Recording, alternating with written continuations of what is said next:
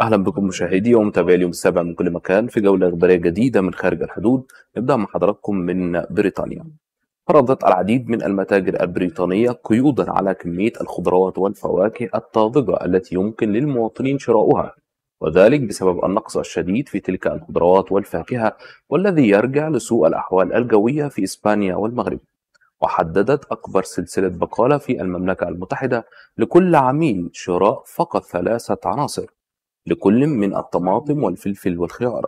وقال محللون متخصصون أن السبب الرئيسي في تلك الأزمة هو الأحوال الجوية السيئة التي أفسدت المحاصيل في إسبانيا والمغرب حيث تعتبر إسبانيا والمغرب من الموردين الرئيسيين للأغذية الطازجة للمملكة المتحدة حيث تعرضت إسبانيا والمغرب لطقس شديد البرودة بشكل غير عادي أدى إلى إلغاء رحلات السفن التجارية وهذا يعني شحن منتجات أقل إلى بريطانيا. بالإضافة إلى تلف وفساد تلك المحاصيل.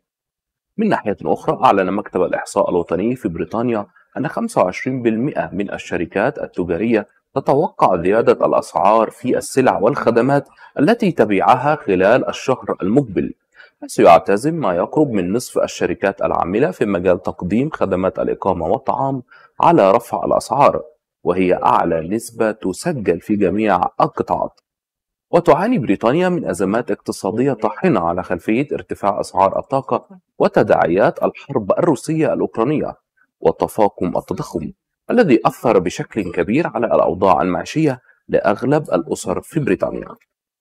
ومن بريطانيا إلى الولايات المتحدة الأمريكية والأزمة التايوانية. قالت صحيفة وول ستريت جورنال إن الولايات المتحدة تخطط لإرسال بين 100 و 200 جندي إلى تايوان خلال الأشهر القادمة. ويأتي إرسال الجنود الأمريكيين إلى تايوان كجانب من دعم إدارة الرئيس الأمريكي جو بايدن المستمر لتايوان وذلك لمواجهة الضغوط الصينية التي لم تستبعد أبدا استخدام القوة للسيطرة عليها. وقالت رئيسة تايوان إن عدد صغير من القوات الأمريكية يتواجد في الجزيرة من أجل المساعدة في التدريبات العسكرية مشيرة إلى أن الجيش الأمريكي سيدافع عن تايوان في حال تعرضها لهجوم صيني. بدوره أكد وزير الدفاع التايواني, التايواني أن بلاده يجب أن تكون مستعدة للحرب مع الصين معربا عن ثقته في قدرة القوات التايوانية على صد الغزو الصيني.